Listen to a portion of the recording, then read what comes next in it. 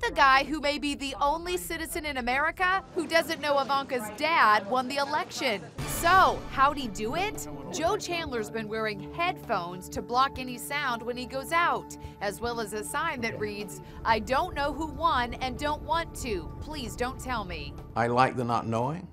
I like the solace. I like the fact that all that noise and all that bickering out there just stopped for me on, on November, November the 8th.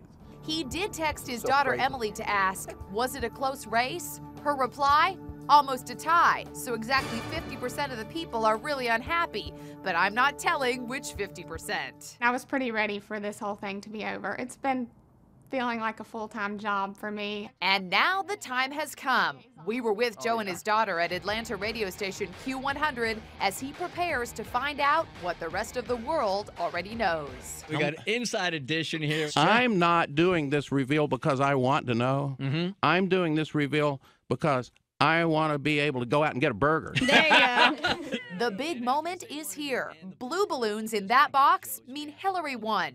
Red balloons mean Donald Trump is the next president. oh, look at all those lovely red balloons. So now he knows Joe's looking on the bright side. I'm hoping we'll look back and say this was the beginning of a better America.